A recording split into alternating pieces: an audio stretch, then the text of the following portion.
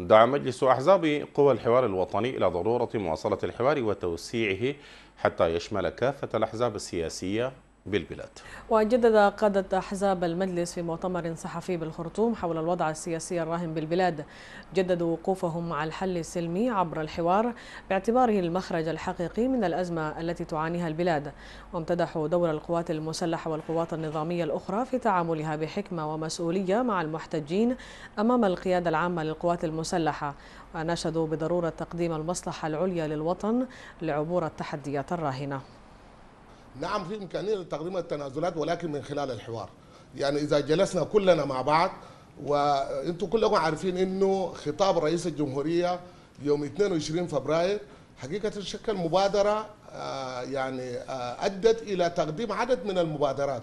يعني كل هذه المبادرات أيضا آه ما زلنا ننتظر مبادرات أخرى والجلوس كذلك مع بعض.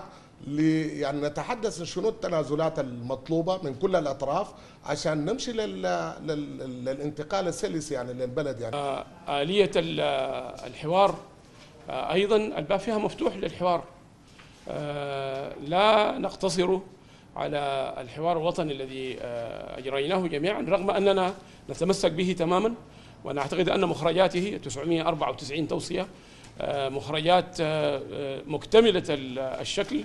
وعالجت تقريبا كل القضايا ولكن لا ندعي أننا نملك الحكمة جميعا. نرى أن السودان في هذه اللحظات وهذه هذه الأيام هناك انعطاف وانزلاقات قوية جدا لا تمثل وجه أهل السودان.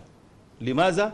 لأن السودان حقيقة يستهدف أو مستهدف من مجموعة استهدافات كبيرة جدا وحقيقة نحن يعني مش ظاهر لنا.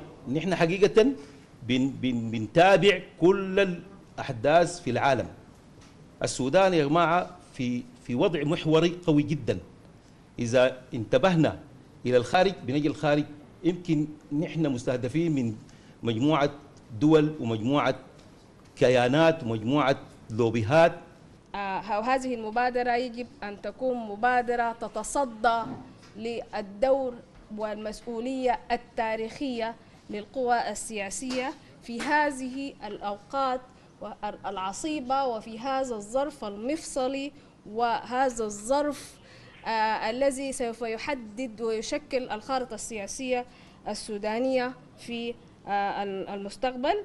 آه نتمنى أن أن تكون هذه المبادرة أو أن تكون هذه الرؤية تهدف إلى إحداث تغيير يفضي إلى تحول ديمقراطي.